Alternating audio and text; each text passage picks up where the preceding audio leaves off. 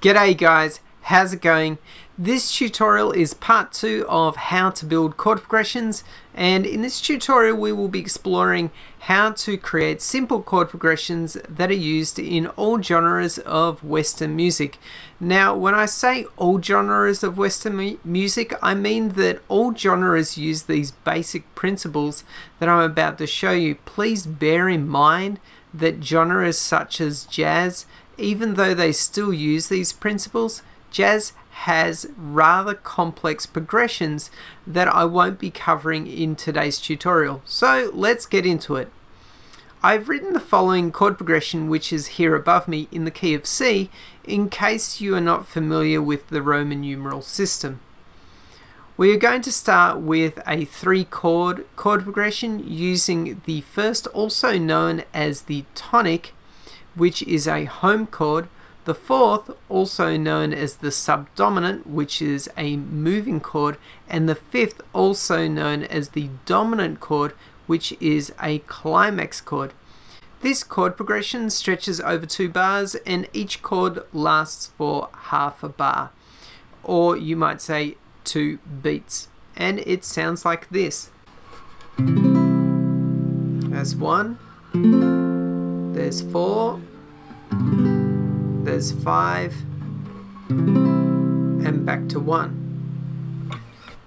This chord progression is the most common chord progression and it basically starts with a relaxed tonic chord which builds tension when it changes to a moving subdominant chord and continues rising in tension when it changes to the climax dominant chord and finally resolves when returning to the relaxed tonic chord.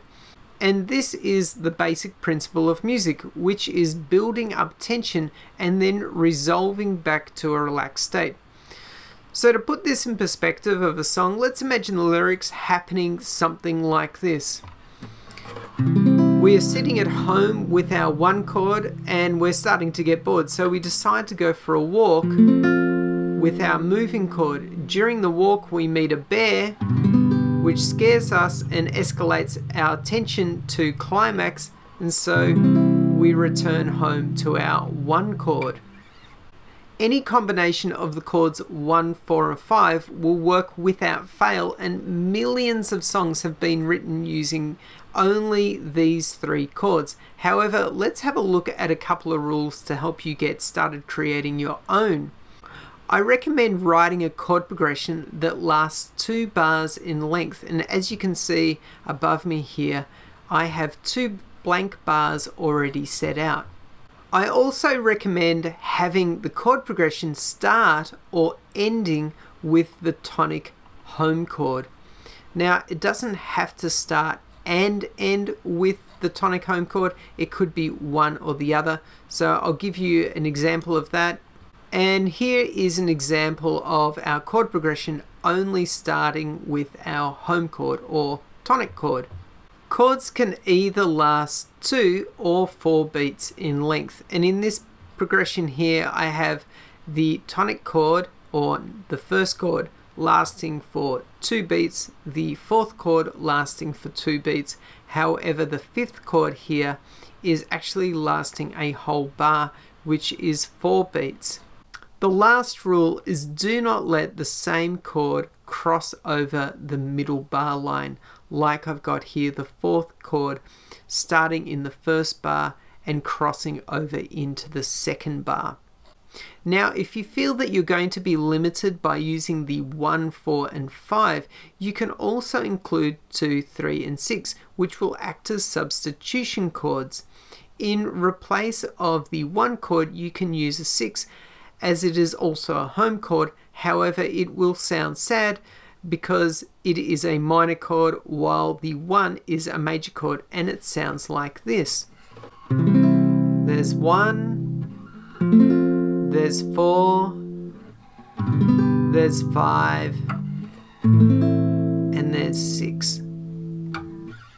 You can also substitute the fourth chord for the second chord as they are both moving chords. However, the second chord is also a minor, so in comparison, the chord progression will sound a little darker and it sounds like this. There's one, there's two, there's five, and there's six. To increase the tension of the fifth chord, you can combine the fifth and the seventh chords together to create a dominant seventh chord. And as you can see, the G chord is made up of the alphabeticals G, B, and D. The seventh chord is made up of the alphabeticals B, D, and F. And when you combine those together, you actually get a G seventh chord, which is G, B, D, and F. This chord now creates what's called a tritone between the third and the flattened seventh note of the fifth chord, which wants to resolve back to the tonic chord. So the third here is the B, which wants to resolve to the C, and the flat seventh is the F, which wants to resolve to the E. So we have a dominant seventh chord resolving to a tonic chord and it sounds like this.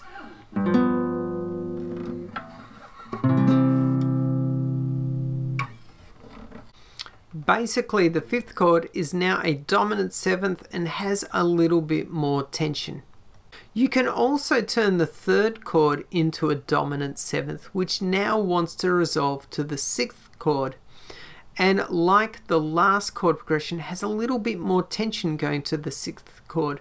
You can now create a chord progression such as the one above me which is 1 4 3 6 which now sounds pretty cool. There's one there's four there's three and six now, if you find all of this a little bit too much, you can also use someone else's chord progression as a starting point. I like to use the Wikipedia page list of songs containing 1, 5, 6, 4 progression. Here they give you a whole lot of songs with the chord progression already written out. In case you want to look it up, I'll leave a link in the comments. You could take one of these chord progressions and twist it until you find something you like. So, what has been your experience with creating chord progressions and did you find this tutorial helpful? I'd love to hear from you, so please leave your experience or questions in the comments.